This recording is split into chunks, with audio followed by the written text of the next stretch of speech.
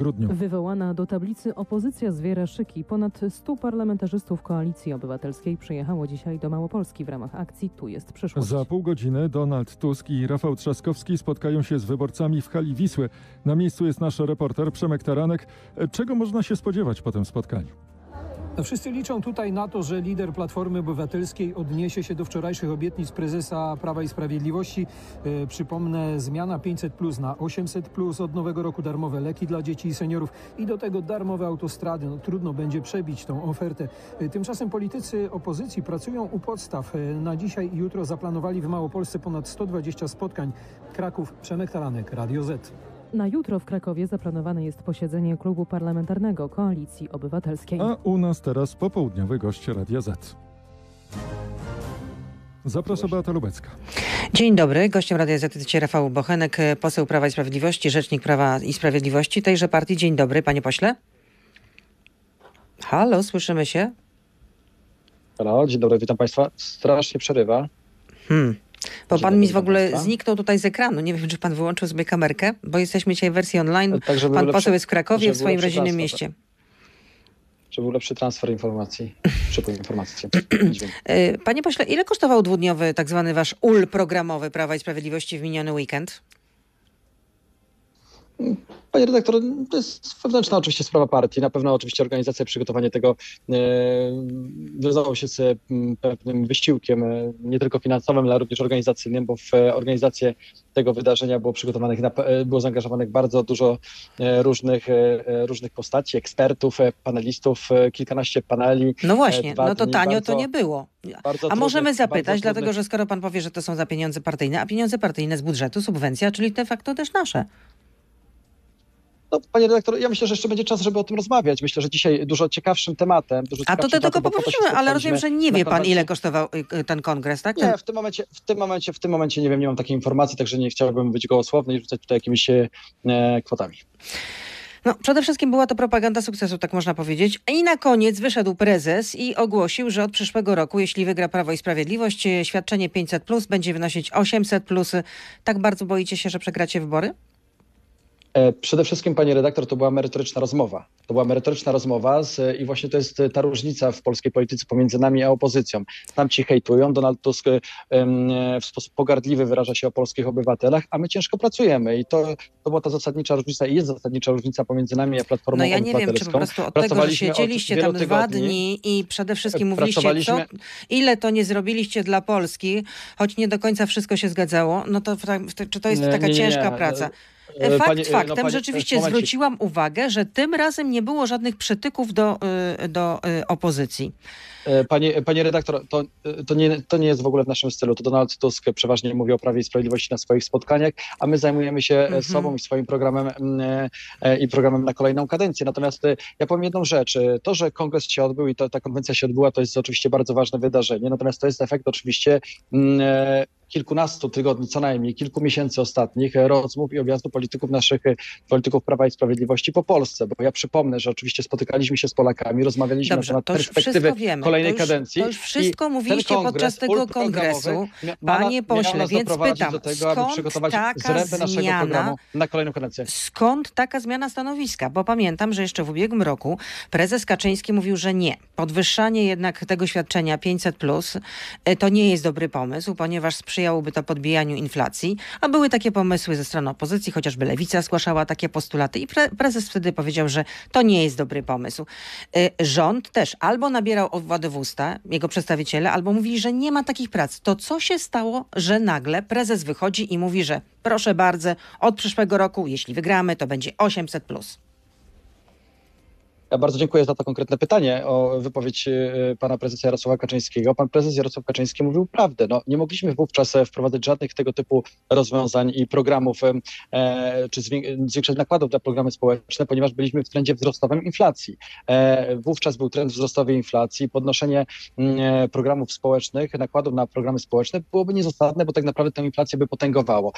Dzisiaj jesteśmy, szanowni państwo, po wielomiesięcznej dyskusji z Polakami. Był kongres programowy i to właśnie na tym kongresie programowym. Po to on był zorganizowany. Padały takie argumenty, również podczas objazdu po Polsce, Ale, aby Przepraszam bardzo, na tym kongresie programowym przecież byli tylko przedstawiciele Prawa i Sprawiedliwości. Czy tam byli jacyś zwykli wyborcy? No ale nie pamięta pani chociażby generała amerykańskiego na panelu o bezpieczeństwie. Nie, nie kojarzy pani A co ma, również a co ma e, generał amerykański, którzy- przepraszam bardzo, do tego, czy będzie 800 plus czy 500 plus? No z całym szacunkiem. Nie, bo ale nie, no, pani mi mówi o tym, że na kongresie nie było nikogo. Nie, ja pytam, czy byli zwykli prawa- wyborcy, czy Pani amerykański pokazuje, generał jest wyborcą? Byli, byli. Nie jest polskim wyborcą. tysięcy- ale eksperci, ale byli, ale byli zwykli eksperci, byli eksper, i niezwykli również, bo to był ekspert niezwykły z, amery- amerykańskie, z amerykańskiej armii, z amerykańskiego wojska. Natomiast jeżeli chodzi o mm, ludzi, którzy w nim uczestniczyli w tym kongresie, to było ich prawie 5 tysięcy i byli to ludzie z całej Polski. Szkoda, że pani redaktor nie widziała na tym kongresie, być może wtedy by pani poczuła atmosferę i wsłuchałaby się w przebieg tych paneli. Oglądałam to uważnie. Argumenty i była ciekawa dyskusja. Tam, żeby podejść do polityków, to nie jest teraz takie proste ani łatwe. W związku z tym, po co tam przychodzić? Generalnie nie można z wami się spotkać face to Ale face. dlaczego? Ale No dlaczego? Ale dlaczego? No dlaczego? chyba, że prowadziłabym dlaczego? panel. Ale nie Dlaczego? prowadziłam, nie prowadziłam i nie chciałabym prowadzić. Ja wielu dziennikarzy spotykałem na sali, którzy rozmawiali z politykami, ze mną również sam jestem politykiem, z uczestnikami tego kongresu i nie było z tym żadnego problemu. No jeżeli e, Panie redaktor, następnym razem naprawdę zachęcam do tego, aby przyjść na e, Kongres Prawa i Sprawiedliwości, Prawa i Sprawiedliwości na konwencję Prawa i Sprawiedliwości i e, zobaczyć, jak to tak naprawdę e, wygląda. Natomiast e, Ale jeszcze jedna rzecz, powiedzieć, że Przekaz telewizyjny Pani- nie oddaje tego, co się dzieje na sali, tak? Przecież nie, to jest wasz przekaz. mi powiedziała, że chciałem pani porozmawiać z politykami Prawa i Sprawiedliwości. W związku z tym Nie, najpierw pan mi powiedział, że nie było mnie, w związku z tym nie wiem, do, do, nie wiem wszystkiego, co tam z się wydarzyło. politykami, z naszymi parlamentarzystami. Natomiast dlatego zapraszam, dla, dlatego zapraszam serdecznie, bo zawsze można zobaczyć, jak wyglądają również kuluary, rozmowy na marginesie, poza panelami, bo takich rozmów również było setki, Dobrze, a nawet, zostawmy to na mm, a przyszłość. nawet dużo, dużo więcej. Powracam do E, tego pomysłu redaktor, jeszcze 800 jedna plus. Czyli myślę, to był, bardzo nie, panie, fraza, panie, panie pośle, bo no, nie chcę, żebyśmy sobie prze- przerywali. Właśnie do tego wróćmy, do tego wróćmy. Więc zapytam, czyj to był pomysł? Do Czy to był wróćmy. pomysł prezesa, że, że, żeby złożyć taką propozycję 800 plus? Pani redaktor, e, przede wszystkim to była sugestia, prośba, apele obywateli. Te apele padały bardzo często podczas naszego objazdu po Polsce i również e, to zostało wydyskutowane podczas naszego ula programowego i rzeczywiście to pan prezes Jarosław Kaczyński ostatecznie po konsultacjach oczywiście z rządem, z całym naszym zapleczem e, parlamentarnym podjął taką decyzję, że rzeczywiście to będzie najlepsze rozwiązanie, aby rzeczywiście od 1 stycznia 2024 roku wprowadzić e, świadczenie wychowawcze na poziomie 800 zł. Podkreślam, to nie jest tylko waloryzacja, o czym mówi opozycja, ale to jest kwota większa, aniżeli wynikałoby to z e, waloryzowania tej, tej kwoty w oparciu o wskaźnik, wskaźnik inflacji. Mm, Dlaczego tego nie Tylko, robimy od razu? Dlaczego tylko, że nie eksperci wskazują, że będzie to momencik. jednak podbijać inflację. Nie, nie. Dlaczego, dlaczego tego nie robimy, pani redaktor, od razu? Dlatego, że jesteśmy rządem odpowiedzialnym, rządem rozsądnym i obserwujemy to, co się dzieje z inflacją. Chcemy ją najpierw zdusić, obniżyć maksymalnie i dopiero wtedy wprowadzić program progospodarczy, bo de facto program 800 Plus będzie programem progospodarczym, który będzie wzmagał nasz wzrost Który gospodarczy. będzie tak to podbijał w konsumpcję, a to prowadzi do, do podbijania inflacji. Panie do pośle, tylko jeszcze jedno Nie, nie, nie, ostatnie pytanie w To części to radiowej. Ile to kłamstwo, będzie kosztowało i skąd na To pieniądze? E, To jest kłamstwo, panie redaktor, to co pani powiedziała, bo program Rodzina 500 Plus był realizowany przez 5, 6, 7 ostatnich lat i nie podbijał w żaden sposób, spos- jakiejś drastycznej inflacji. E, To po pierwsze. Inflacja, teraz którą dzisiaj mamy, jest, jest, infla, jest inflacja. A dlaczego teraz będzie, a wcześniej nie było? O, To e, dlatego, że, że wtedy inflacja, kiedy ten program zaczął obowiązywać, no nie, nie była na tym poziomie, na którym jest teraz. Ale o czym pani opowiada, e, mówi? Teraz inflacja jest na tym poziomie z uwagi na wojnę na Ukrainie. Na Dobrze, a w surowców. No przecież to, 2016 co na jakim poziomie była inflacja? nie ma żadnego 14% czy pokrycia w 15%? faktach. No nie. No nie, no nie. I właśnie i, przez, i w 16, 17, 18, 19 roku również na takim poziomie nie była, a wtedy był już realizowany program Rodzina 500+. To, to, w związku z tym to, co pani mówi, jest kłamstwem. Kłamstwem e, i propagandą pla, e, Platformy Obywatelskiej. Jasne. Dlatego ja chciałbym A eksperci, którzy to podnoszą, to też wszyscy po prostu eksperci Platformy Obywatelskiej. Dobrze, to tyle w części radiowej. Ja pan rzecznik oczywiście z. Ja nami konkretnych zostaje. Panie rzeczniku, e, pan rzecznik z nami zostaje, poseł Prawa i Sprawiedliwości. Jesteśmy na Facebooku, na Radio Z.pl, na YouTube, więc proszę zostać z nami. Beata Lubecka. Serdecznie zapraszam. To jest gość Radia Z. I przypomnę, że gościem Radia Z prosto z Krakowa jest Rafał Bochenek, rzecznik Prawa i Sprawiedliwości. Panie pośle, to jeszcze pytanie, bo na to pytanie nie dostaliśmy odpowiedzi podczas tego ula programowego. Ile to będzie kosztowało i skąd na to pieniądze? Bo już wiemy, że roczne wydatki zwiększą się z około 40 miliardów na około 64 miliardy złotych. No, szacujemy, że nawet niecałe 70 miliardów złotych. Budżet dzisiaj jest ponad dwa razy większy niż za, za czasów rządu Platformy Obywatelskiej. W związku z tym mamy na to środki. Będziemy wkrótce oczywiście prezentowali szczegóły. Ja przypominam, pani redaktor, ja wiem, że e, pani jest bardzo niecierpliwa, natomiast wczoraj dopiero zakończyliśmy konwencję. Wczoraj podsumowaliśmy ją w postaci właśnie zaprezentowania tych e, trzech elementów e, naszego programu, który będzie realizowany w kolejnej kadencji. Także dajmy czas na przygotowanie już e, większych szczegółów. W najbliższych pewnie dniach, tygodniach będziemy je prezentowali. To, że dotrzymamy słowa, to jest pewne, bo już nieraz to udowadnialiśmy. Nie można oprzeć się wrażeniu, że jednak ten kongres czy też ul programowy, jak go sobie nazwaliście, był organizowany tak po prostu ad hoc, po pierwsze, żeby przykryć nieco imprezę, nazwijmy to w ten sposób, e, e, suwerennej e, Polski, czyli Solidarnej Polski do niedawna. Więc poprzeć wcześniejsze zapowiedzi były takie, że, że w połowie lipca będzie taka konwencja. No ale, ale oczywiście nie, macie do tego nie. prawo. O nie, nie. macie pieniądze, subwencje. Ależ ma pani fantazję. Ależ ma pani fantazję. Pani redaktor. No przecież naprawdę. powtarzam to, co słyszałam w kuluarach. A w których kuluarach? Gdzie? Platformy no, Obywatelskiej? No, no nie muszę panu e, e, zdradzać e, swoich informatorów. No to rozmawiajmy poważnie. A ja to teraz rozmawialiśmy niepoważnie? Nie, no dlatego to, co pani mówiła, było niepoważnym. Ja mówię o tym, e, co, co się wydarzyło i mówię o faktach. My umowę na podpi podpisaną na, e, na salę, w której odbywało się to spotkanie weekendowe, mieliśmy już e, zawartą wiele, wiele tygodni temu i znacznie wcześniej niż konwencja Solidarnej Polski. Z Polsatem, w tym, tak? Na pewno w związku z tym, w związku z tym. Bo to była hala Polsatu, tak? Potwierdzam, tylko chcę to potwierdzić. Żadnego, tylko. żadnego tak, to była hala Polsatu. Żadnego klina. Tutaj Państwo pomiędzy nas a naszego koalicjanta w tym zakresie nie, nie wbijecie. Solidarna Polska była suwerenna, robiła swoją konwencję, my robiliśmy e, swoją. Natomiast e, jeżeli chodzi o, e, przepraszam, tam był drugi Tylko, że jak suwerenna Polska robiła swoją konwencję, to skarżyliście się niektórzy z waszych przedstawicieli, to tacy prominentni, jak Krzysztof Sobolewski mówił, że no w sumie taką dobrą praktyką było, że zawsze zapraszaliście się nawzajem, a teraz już się nie zapraszacie nawzajem. No teraz była typowo konwencja programowa, panie redaktorze. Jeżeli będą konwencje partyjne, polityczne, które będą związane chociażby Ale z przygotowaniem wasz program nie jest wspólny, tak? No nie no, każda partia ma swój. No mamy, ja przypominam, że Zjednoczona Prawica, panie redaktor, jest konglomeratem kilku ugrupowań. Są Republikanie, jest Solidarna Polska, teraz suwerenna, e, jest również e, tutaj to stronnictwo pana ministra Ociepy, w związku z tym e, proszę wybaczyć, no ale każda partia prezentuje swój własny program wyborczy. Jest jeszcze partia pana Pawła Kukiza, która również ma swoje postulaty. Nie będziemy konsultowali my jako Prawo i Sprawiedliwość z naszymi koalicjantami na etapie tworzenia naszego programu razie... z koalicjantami, bo najpierw chcemy wy, sami go wydyskutować we własnym środowisku będziemy mieli przygotowany program swój, wówczas będzie e, podpisując Czyli dokumenty rozumiem, koalicyjne, polityczne, macie. będziemy o tym rozmawiać szerzej. Czyli rozumiem, że go jeszcze nie macie, że trzeba ten program jeszcze wydyskutować, tak? Nasz program się, jest w permanentnym tworzeniu. E, praca w ulu programowym Prawa i Sprawiedliwości e, się nie kończy. Pierwsze filary tego programu zostały już ujawnione, opublikowane. O nich mówił pan premier Mateusz Morawiecki, a te trzy główne punkty wniósł na agendę pan prezes Jarosław Kaczyński. To ja jeszcze dodam, że 25 kwietnia rząd e, przyjął taki dokument Wieloletni Plan Finansowy Państwa. E, ten dokument e, powędrował także między innymi do Komisji Europejskiej i w tym dokumencie również jest, są zapisy dotyczące programu 500+, i napisano w tym dokumencie, że wydatki te będą maleć z około 40, 40 miliardów w 2023 do około 38,5 miliarda w 2026. Teraz idziemy, rozumiem, w przyszłym, znaczy w, w przeciwnym kierunku. Dokument mm, sobie, rozum... papier zniesie ale... wszystko, a od przyszłego ale... roku będzie inaczej. Ale nie rozumiem, panie redaktor, w czym problem. No, ja rozumiem, że jeżeli jesteśmy odpowiedzialnymi rządzącymi, to musimy reagować na bieżącą mm, sytuację e, gospodarczą, społeczną. Ale to był 25 oceniać, kwietnia, jeżeli... a, pro, a propozycja padła 14 maja. No to co się takiego zmieniło w ciągu dwóch tygodni? No. No, szanowna pani redaktor, no, e, co się zmieniło? No, od, e, mieliśmy spotkania w różnych zakątkach Polski. Przede wszystkim odbył się nasz programowy i tam trwała dyskusja na różnych panelach, na marginesach tych paneli e, i wydyskutowaliśmy i były takie sugestie ekspertów, ludzi, którzy uczestniczyli generalnie w tym ulu programowym, aby właśnie podjąć tego typu działania, jakie zaproponowaliśmy, czyli podniesienie kwoty z 500 zł do 800 zł tego świadczenia wychowawczego, które jest realizowane, darmowe leki również dla no seniorów, wiemy, bo to zapominamy i dla osób, no nie, i dla osób do 18 roku życia. zapoznać. I darmowe autostrady e, na, dla samochodów osobowych, e, jeśli chodzi o te autostrady państwowe.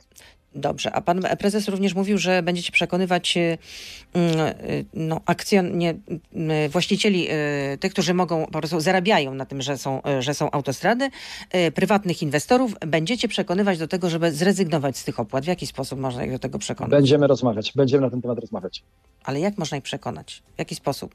E, Panie redaktor, no trudno, żebym zdradzał strate- strategię negocjacyjną polskiego rządu. No, bylibyśmy na pewno w dużo go- gorszej e, sytuacji, gdybym ja tutaj na antenie opowiadał, jaki jest stan działania w tym zakresie. W związku z tym proszę pozwolić nam działać. E, Na pewno te tematy będziemy chcieli dopiąć, zrobić wszystko, żeby przede wszystkim te autostrady państwowe oczywiście były bezpłatne dla samochodów osobowych i mam nadzieję, że tutaj również te rozwiązania, jeżeli chodzi o tych prywatnych właścicieli, dzierżawców, będą również skuteczne, tak aby również te autostrady także mogły być bezpłatne. A są powroty na przykład do takich pomysłów e, renacjonalizacji tych autostrad, które są teraz prywatne? Panie redaktor, no proszę. No nie, no nie wiem, no sobie nie pytam. żartować. No proszę sobie nie, proszę sobie nie żartować. Dlaczego no nie żartować? No, no przepraszam bardzo. No, a jak tych y, y, inwestorów nie da się przekonać?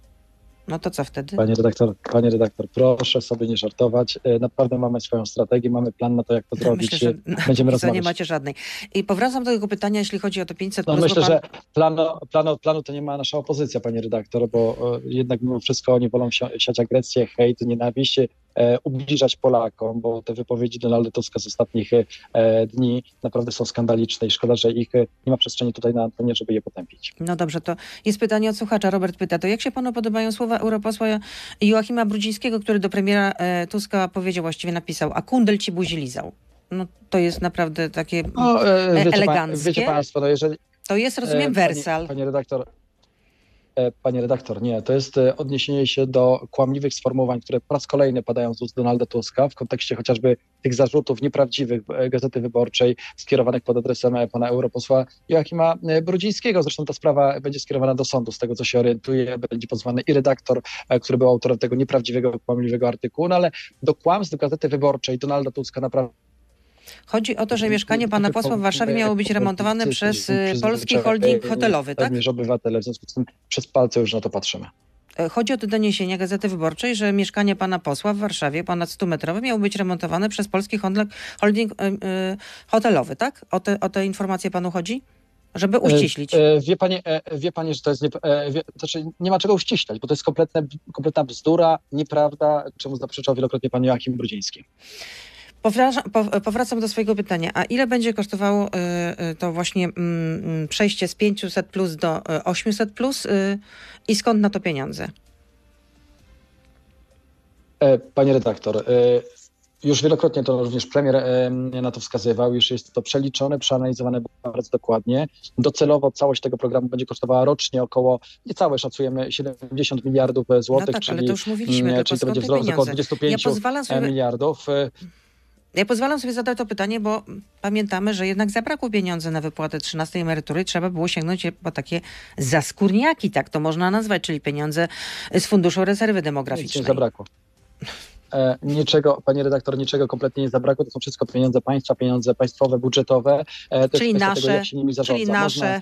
Można, można panie redaktor. Dokładnie tak, ale wie pani, e, przed 2015 rokiem też były nasze i nie wiadomo, gdzie one się podziewały. I to jest ta zasadnicza różnica, że Polacy kompletnie z tego budżetu państwa nic nie mieli. Waloryzacja wynosiła 2-3 zł. Znaczek, w którym przekazywano informację o waloryzacji, był droższy niż kwota waloryzacji emerytury. Mm, Wjeżdżały setki tirów dziennie z lewą paliwem, z lewym paliwem do Polski. Nikt kompletnie z tym nic nie robił. No a E, ostatnio pieniądze wjeżdżały za to tiry z, i też ze zbożem nasze, z i też Ukrainy i, i też- nikt tego nie kontrolował. no i nikt też- tego nie sprawdzał. No jak też, to się e, mogło stać? No. No i też, i też panie redaktor, panie redaktor, i też tamte pieniądze były nasze. I niestety I jak to się mogło było. stać? A było na mieliśmy 13, takie 14 doświadczenia emeryturę, właśnie, chociażby z tym, 500 z tym paliwem. A jeżeli, a jeżeli chodzi, jeżeli chodzi o te tiry, które pani wspomniała e, zboża, to pani doskonale wie, e, z czego wynika problem.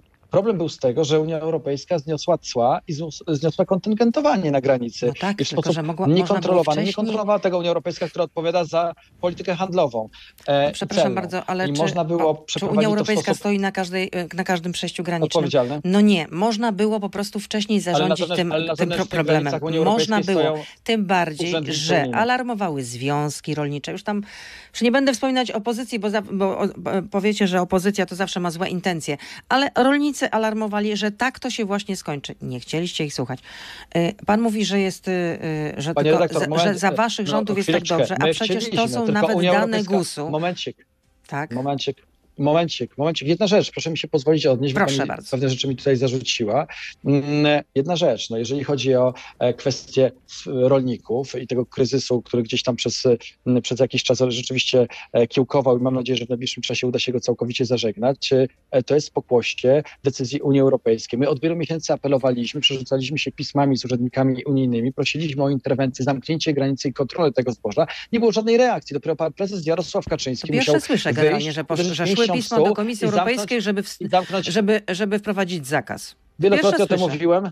Wielokrotnie, wielokrotnie mówiliśmy o tym, żeby zrobić jakieś limity kwotowania albo kontyngentowania, żeby w jakikolwiek sposób kontrolować napływ, kontrolować napływ tego zboża, które rozwala nam rynek rolny tutaj w Polsce. I od samego początku o tym mówiliśmy Unii Europejskiej. Unia Europejska dopiero się wtedy obudziła, kiedy podjęliśmy stanowcze decyzje, podjął pan prezes Jarosław Kaczyński. A to też prezes Jarosław Kaczyński. Że nie, premier, tylko prezes. A co na tej waszej konwencji, y, tym ulu programowym robił Marek Jakubiak, który w ubiegłym, e, w ubiegłej kadencji jeszcze zasiadał w Sejmie. y, Wcześniej był posłem Kukiz 15. No, był jednym z najbogatszych posłów, jeśli najbogatszym. To znaczy, że będzie startował na przykład z, waszego, y, z waszej listy do parlamentu na przykład? Oj, panie redaktor, naprawdę e, wielu różnych ekspertów e, było zaproszonych na te panele. E, Pan Marek Jakubiak był e, do, doproszony do panelu jako gość e, pana premiera Mateusza Morawieckiego w sprawach gospodarczych. E, To nie jest tak, że ktoś, kto pojawił się już na panelu, będzie e, nie wiem, to wiązało się z jakąś deklaracją startu w wyborach e, z naszych list. To naprawdę było wiele ciekawych osób, również z zagranicy, które zabierały głos podczas tych paneli. W związku z tym mocno e, tych e, paneli stricte z taką twardą polityką. To były rozmowy merytoryczne, bo na tym nam zależało, żeby to były rozmowy merytoryczne o gospodarce, bezpieczeństwie, sprawach społecznych, e, zdrowiu, edukacji, kulturze. O tym wszystkim rozmawialiśmy. To, to pozwolę sobie zmienić temat. Czy minister Błaszczak, szef Ministerstwa Obrony Narodowej, okłamuje opinię publiczną, żeby chronić e, swoje stanowisko, czy też nie panuje nad armią? Mm, e, Panie redaktor, myślę, że e, pan minister Błaszczak złożył już wyjaśnienia w tej sprawie publicznie, oświadczenie. Są również komunikaty Ministerstwa Obrony Narodowej, z których jednoznacznie wynika, że jednak no, dowództwo operacyjne, które zawiaduje przestrzenią powietrzną i kontroluje przestrzenią powietrzną, nie dopełniło swoich obowiązków i nie, nie przekazało ministrowi Błaszczakowi odpowiednich informacji co do tego, co się wydarzyło 16 grudnia. E, Nie poinformowany został e, pan minister Błaszczak, że e, jakiś obiekt wleciał w naszą przestrzeń powietrzną. No to Zresztą to wynika prosto, wprost e, z, z raportu, który został przygotowany przez e, Ministerstwo Obrony Narodowej. No to wcześniej słyszałam, że szef sztabu generalnego przekonywał, że informował swojej, o sprawie swoich przełożonych. Kiedy? Wtedy, kiedy miało to miejsce, mówił generał Rajmund Andrzejczak w jednej z rozgłośni. e, Panie redaktor, no ja się opieram na dokumentach. E, Jeżeli chodzi o meldunki z 16 grudnia, bo sprawa wydarzyła się 16 grudnia, w tym meldunku z tego dnia e, była jasna informacja, iż żaden obiekt nie, w, nie wleciał w polską przestrzeń powietrzną. I to był meldunek wytworzony przez dowództwo operacyjne e, i no, tutaj należałoby pytać pewnie, pewnie pana generała, który dowództwem operacyjnym e, zawiaduje, dlaczego taką informację wówczas zawarł w tym meldunku, dlaczego ona, jak się dzisiaj okazuje, jest niezgodna z rzeczywistością, niezgodna z prawdą. No to też słyszałam taką wypowiedź wiceministra spraw zagranicznych Pawła Jab- Jabłońskiego, też w jednej rozgłośni, który mówił, że o tym, że doszło do pewnego zdarzenia o niewyjaśnionym czy takim charakterze, którego jeszcze nie można w pełni przekazać opinii publicznej pod koniec roku, było wiadomo od razu wtedy. Nie, no bo Od razu wtedy, Szanowni no pod państwo, koniec jeszcze roku, no to czyli w grudniu. Centrum Operacji. E, Momencik, momencik. Chciałbym jedną rzecz wyjaśnić, bo e, też, żeby nasi widzowie mieli i słuchacze, przepraszam, widzowie też dzisiaj w radiu jest już telewizja, e, mieli jakby pełną jasność. Jest Centrum Operacji Powietrznych i tutaj rzeczywiście reakcja była prawidłowa w związku z tym obiektem, który przekroczył naszą, e, m, naszą granicę i wleciał w naszą przestrzeń powietrzną, bo rzeczywiście zostały poderwane, poderwane samoloty. Natomiast dowództwo operacyjne, które nadzoruje Centrum Operacji Powietrznych, wtedy, kiedy otrzymało informację od Centrum Operacji Powietrznych, nie przekazało ich wyżej. No jednak jest pewna, mm, e, są pewne e, są pewne przepisy, reguły, procedury w wojsku, e, kaskadowość tak naprawdę przekazywania tej informacji e, i ta informacja najprawdopodobniej rzeczywiście została zatrzymana na poziomie dowództwa operacyjnego i nie przekazana do Ministerstwa Obrony Narodowej, e, co wynika z tego meldunku z 16 e, grudnia. Też jesteśmy z tym, e, tym bardzo mocno zdziwieni, dlaczego ta informacja nie została panu ministrowi przekazana. No ale murem za generałami stoi pan prezydent. A, Zobaczymy, jaka będzie decyzja pana prezydenta. Wiem, że raport e, przygotowany przez specjalną komisję, wtedy kiedy pan minister Błaszczak się e, o, tylko o tym dowiedział, powołał specjalną komisję e, w kwietniu, która przygotowała właśnie raport i ten raport dzisiaj już jest na biurku pana prezydenta m, Andrzeja Dudy, również na biurku pana premiera Mateusza Morawieckiego. Na pewno będą się pochylali nad tymi dokumentami i je szczegółowo analizowali. Y, Nie wiem, czy pan czytał doniesienia mediów, że jest tajne śledztwo w sprawie podejrzeń nielegalnego finansowania e, Prawa i Sprawiedliwości przez działaczy z Podkarpacia i Małopolski. Czy wam to spędza sens powiek? Panie redaktor, my, jeżeli chodzi o kwestie jakichkolwiek nadużyć, łamania prawa, zawsze byliśmy jednoznaczni i e, podejmowaliśmy bardzo szybko decyzje, konsekwencje również personalne. U nas nie ma miejsca na tego typu nadużyć, jeżeli do jakichkolwiek nadużyć oczywiście doszło, bo e, jeszcze w tym momencie nie ma żadnych wyroków, są jakieś śledztwa prowadzone, postępowania i bardzo dobrze, bardzo dobrze, że służby pracują, wyjaśniają, bo nie może być tak, że dochodzi do jakichkolwiek nadużyć, również w szeregach e, naszej partii, ale proszę Państwa, no to jest właśnie ta różnica pomiędzy nami a Platformą Obywatelską. No, e, u nas, jeżeli dochodzi, do, chociaż jakiś pan jakiś cień podejrzeń, Panie redaktor, cień podejrzeń e, co do e, określonych zachowań, działań, od razu wyciągamy wobec mm. tych osób konsekwencje. Natomiast w Platformie Obywatelskiej mamy sytuację pana Karpickiego, mamy No sytuację wokół Łukasza Mejzy to były tak szybko podjęte pana, decyzje, po prostu, pana- no po prostu Ale błyskawicznie. pan Łukasz, Me- momencik, ale pan Łukasz Mejza nie jest członkiem Prawa i No Sprawiedliwości. co z tego, no ale przepraszam bardzo, ale był, no ale był w obozie Zjednoczonej Prawicy, tak czy nie?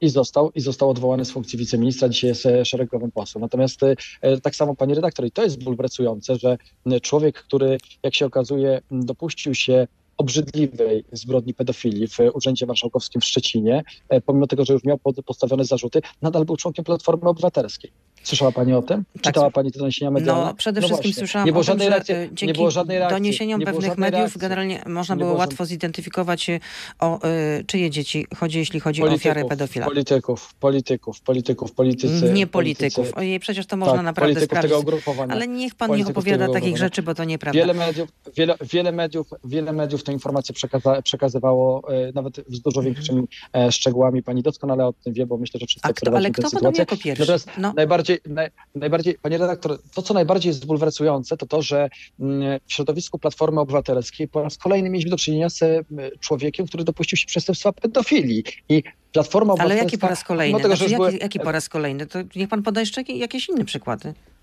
e, przepraszam, a radni e, na Pradze, radni na Targówku, pornografia dziecięca, e, która była, która, która była mm, którą, którą znaleziono przy tych osobach.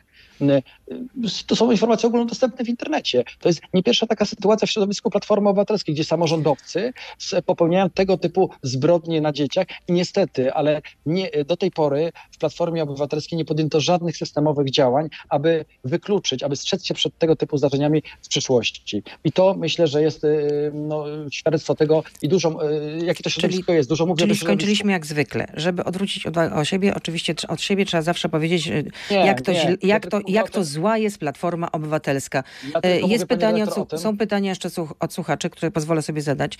Ile będzie kosztować polskiego podatnika projekt Laptop Plus? Czy rząd ma na to pieniądze, czy będzie się zapożyczać, żeby zrealizować ten projekt? E, Panie redaktor, e, oczywiście, że ten projekt będzie realizowany, on będzie najprawdopodobniej wprowadzony na stałe, bo tak tam minister Cieszyński już nieraz e, obiecywał. Natomiast, i, a my dotrzymujemy słowa, w związku z tym na pewno ten projekt będzie realizowany. Należy nam, zależy nam na tym, aby cyfryzować polską szkołę, aby ułatwiać dostęp do narzędzi informatycznych również polskich dzieci, polskiej młodzieży. No i tyle właściwie mam do powiedzenia w tej sprawie. No, na pewno ważny projekt i będziemy go kontynu- kontynuowali. Dlaczego podczas głosowania w Parlamencie Europejskim w ubiegłym tygodniu w sprawie ratyfikacji konwencji stambulskiej wszyscy europarlamentarzyści PiSu byli przeciwko? Dlaczego tak bardzo, jak to ujął słuchacz, nienawidzicie kobiet? Myślę, że to nie wynikało z tego, iż e, jest jakiś problem z kobietami w, w, w, w Polsce, bo my w Polsce kochamy polskie kobiety, szanujemy polskie kobiety, zresztą Prawo i Sprawiedliwość, szanowni tak, państwo, dlatego dzięki nam, jest tą partią, dzięki jednak- Prawu i Sprawiedliwości jednak- zaostrzono prawo antyaborcyjne, za gdzie, to y, e, jest d- problem z dostępem y, do antykoncepcji, na przykład piłku po, bo trzeba mieć po prostu receptę. No i to właśnie takie, taka jest ta miłość właśnie Panie, dla kobiet. panie redaktor, no, pa, panie redaktor, no jeżeli pani postrzega miłość do kobiet przez pryzmat tylko i wyłącznie seksualności, no to myślę, że to i w No jeśli ktoś tu mówi dużo seksualności, to państwa, wy. No to myślę, że to jest e, myślę, że jest myślę, że to jest e, mocno słabe. Natomiast e, Nie, to nie jest mocno słabe. uwagę na programy, szereg programowe. E, No wie pani, no jeżeli pani, to proszę wyjść na ulicę, zapytać kobiet, kiedy im się żyje lepiej. Czy dzisiaj, wtedy, kiedy rządzi Prawo i Sprawiedliwość i są różne programy wdrażane, wsparcie dla polskich rodzin, również dla polskich kobiet, kiedy został obniżony wiek emerytalny, kiedy e, szereg również różnych właśnie programowych e, No systemów ja wsparcia pamiętam też doniesienia. Głównego U- wtedy, Urzędu Statystycznego, że w kobiet- 2020 roku żyło więcej rodzin w skrajnym ubóstwie niż rok wcześniej i że wzrósł też odsetek dzieci seniorów żyjących w ubóstwie od 2016 roku. To były oficjalne dane Głównego Urzędu rzecz, Statystycznego. luka płacowa, luka płacowa, bo to również jest e, miarą tego, jakie mamy podejście do polskich kobiet. E, w Polsce jest jedną z najniższych e, w Europie, co też warto podkreślać, pani redaktor. Czyli różnica. Ale nie odpowiedział pan na pytanie, dlaczego akurat europosłowie Prawa i Sprawiedliwości byli przeciw ratyfikacji konwencji stambulskiej. Panie redaktor, ja nie, jeżeli nie mylę, bo akurat teraz e, nie znam dokładnie tego dokumentu, ale z tego co kojarzę, jest to dokument, w którym również były elementy mm, e, genderowe tak naprawdę i myślę, że to ideologiczne, lewackie i myślę, że to wynikało przede wszystkim z, e, tych, z, tych, z tych kwestii. Mhm. A, kwe, a kwestia przemocy wobec kobiet to już po prostu jest na drugim miejscu, rozumiem. Nie ma to aż takiego znaczenia. Prawo i Sprawiedliwość... Myślę, że, myślę, że ale nie, ale no, no ma znaczenie, panie redaktor, i my między innymi, my między innymi jesteśmy tą partią, tą partią, która wdrożyła bezprecedensowe rozwiązanie, które zostało poparte ponad podziałami partyjnymi. To warto też, panie redaktor, e, przypominać w polskim Sejmie. E, Natychmiastowe odseparowanie agresora w przypadku przemocy domowej od ofiar. E, I to też jest rozwiązanie, które przez lata nie udawało się tego rozwiązania wdrożyć politykom lewicy, politykom Platformy Obywatelskiej PSL. Dopiero my to zrobiliśmy wspólnie z naszymi koalicjantami, przegłosowaliśmy te rozwiązania. W związku z- tym naprawdę warto e, to też podkreślać. E, Natychmiastowe m, po interwencji policji odseparowanie agresora i wyciągnięcie go z, z danego domu w sytuacji, gdyby dochodziło do przemocy. Czy jako szczęśliwy tata... od, e, Kolejne od pytanie. Czy jako szczęśliwy tata nie uważa pan, że ubranka dla dzieci powinny mieć zerowy VAT?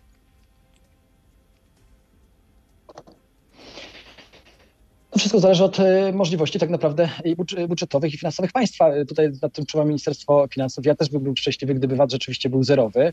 Natomiast no, tutaj e, zupełnie poddaje się decyzjom Ministerstwa Finansów i rządów, bo to Ministerstwo Finansów i rząd z góry patrzy na całość gospodarki i patrzy, gdzie rzeczywiście można ten VAT obniżać.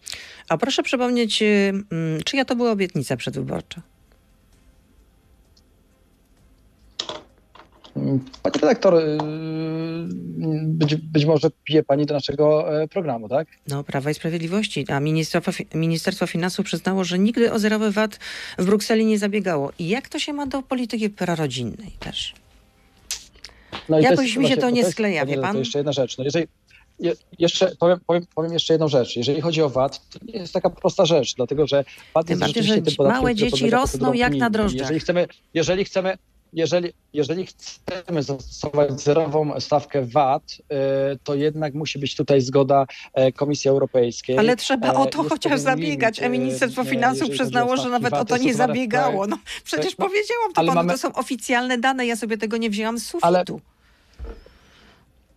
Pani, pani, pani redaktor, wdrożyliśmy wiele innych stawek, obniżyliśmy wiele innych stawek VAT na inne produkty, w związku z tym naprawdę e, e, myślę, że jednak wiele dobrego zostało zrobionych dla polskich rodzin. Dzisiaj będzie podniesiony, i taka jest decyzja zresztą naszego szefa, pana prezesa Jarosława Kaczyńskiego, program e, 500 plus do poziomu 800 zł, w związku z tym to też jest myślę konkretne wsparcie. Myślę, że e, będzie mocnym takim e, e, zastrzykiem gotówki dla polskich rodzin. No ale co by nie powiedzieć, to program 500 Plus nie okazał się programem prodemograficznym, a cały czas mówicie, że e, rodzina jest tym właśnie jądrem które, No, waszego zainteresowania. No to właśnie no to zerowy Nie VAT końca, na, e, na ubranka dla dzieci jak najbardziej pani- tutaj. Tak? a wie pani, a wie pani, a wie pani, e, ile dzieci by się rodziło, gdyby tego programu nie było? Ma pani gwarancję, że nie rodziłoby się mniej, bo jednak trend był mocno spadkowy cały czas. No i- że i cały czas jest spadkowy. Wsparcie dla polskich rodzin, a poza tym, a poza tym, no jeżeli chodzi o drugie i trzecie dziecko, to nie jest, bo A pieniądze za to ładowaliście w naprotechnologię, która okazała się kompletnie chybioną metodą. I jeszcze jedno pytanie. Pani, Czy wiadomo... Pani i- redaktor, e, dr- jeżeli chodzi o drugie i trzecie dziecko, to jest wzrost. Wzrost. Jesteśmy tutaj liderem, jeżeli chodzi o państwa europejskie. We wszystkich krajach właściwie są spadki, a u nas, jeżeli chodzi o e, posiadanie drugiego i trzeciego dziecka, jednak są wzrosty i myślę, że to jest efekt również tej polityki prorodzinnej, którą prowadzi rząd Prawa i Sprawiedliwości. I jeszcze jedno pytanie do pana. Czy wiadomo, ile kosztowała kampania promocyjna pieniędzy, kampania promująca KPO, które e, tych pieniędzy nie dostaliśmy? Bo poprzednim razem pan twierdził, że to kampania rządowa, ale może zdążył pan już zapytać w Radzie Ministrów. Jeśli nie, to poczekam. Pozdrawiam. Mówi słuchacz. No i w pytaniu Pisze. jest właściwie odpowiedź. e, To nie dowiedział się pan? rządowa, proszę pytać. Nie, ja tej kampanii nie organizowałem. To była kampania rzeczywiście przygotowana przez e, e, nasz rząd. e, Także myślę, że wszelkie szczegóły, jeżeli chodzi o finansowanie, jak ona przebiegała, jak była zaplanowana, należy o te szczegóły pytać się w rządzie. A czy w tym programie, mm, który jak rozumiem niedługo e, poznamy, tym kompleksowym programie Prawa i Sprawiedliwości, który taki będzie wydyskutowany z, z, z wyborcami, z Polakami, z Polkami, czy znajdą się jakieś rozwiązania, pyta też e, kolejny słuchacz, ułatwiające działalność dla e, JDG, czyli to jest jednoosobowa działalność gospodarcza, bo dużo jest takich firm. Na pewno nasz program będzie przekrojowy, panie redaktor, i będziemy kierowali swoje e, propozycje i ofertę e, programową nie tylko do e, polskich rodzin, ale również, będzie to tam na pewno mocny filar gospodarczy. Proszę nam pozwolić pracować. Myślę, że w najbliższych miesiącach będziemy prezentowali kolejne rozwiązania, które będziemy chcieli realizować w kolejnej kadencji. A kiedy następna konwencja programowa? Połowie czerwca e, planujemy kolejne e, wydarzenie, także myślę, że e, warto też na nim być. I zapraszam panią redaktor, aby fizycznie się pojawić, nie tylko oglądać nas w telewizji, w internecie. Jest pani w Warszawie na miejscu. Fajnie A, czyli to zobaczyć, będzie jak- też konwencja w Warszawie, tak? No, zakładamy na razie, znaczy może rzeczywiście wybiegłem za bardzo, ale to jeszcze miejsc, może miejsca rzeczywiście nie, nie, nie deklarujmy na sztywno, bo jeszcze ono rzeczywiście nie jest potwierdzone. Dziękuję bardzo za rozmowę. Rafał Bochenek, y, poseł i rzecznik Prawa i Sprawiedliwości był z nami. Pozdrawiamy piękny Dziękuję. Kraków. Dobrego popołudnia. Dziękuję. To był gość Radia Z. Słuchaj codziennie w Radio Z i na player radioz.pl.